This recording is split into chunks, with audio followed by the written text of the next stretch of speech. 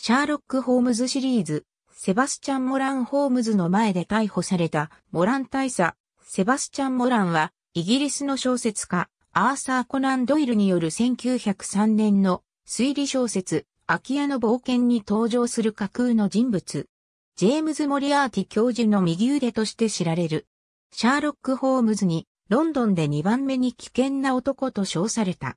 1840年生まれ、オーガスタス・モラン教の息子。イートンとオックスフォードで教育を受けた後、アフガンに従軍し、カーブルに駐屯。退役後、ロンドンに戻る。モリアーティ教授に見出されて、彼の部下となる。射撃の名手、猛獣狩りの名人、カードゲームの達人である。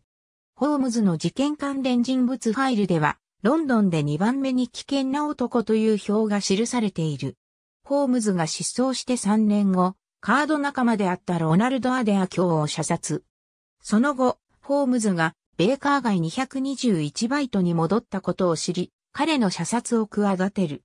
しかし、ホームズの計略に乗せられ、下宿の窓に映る、老人形のシルエットをホームズと思い込み狙撃したところをホームズとワトスンに襲われ、激しい格闘の後、駆けつけたレストレード警部に逮捕された。そして、ホームズの推理により、アデア教殺人事件の犯人として裁かれることとなった。逮捕後、ワトスンは退役後、モランはクラブで行われるカードゲームでイカ様をして生活費を稼いでいたが、それをアデア教に見破られ、クラブからの大会を迫られたために犯行に及んだと推理しており、ホームズもそれを肯定している。また、ホームズの回想では、モランはライヘンバッハの滝にモリアーティ教授に同行して、向かい、ホームズが決闘の末、モリアーティ教授を滝壺へと突き落としたのを見届けた後、ホームズを狙撃して殺害しようとしたことが語られている。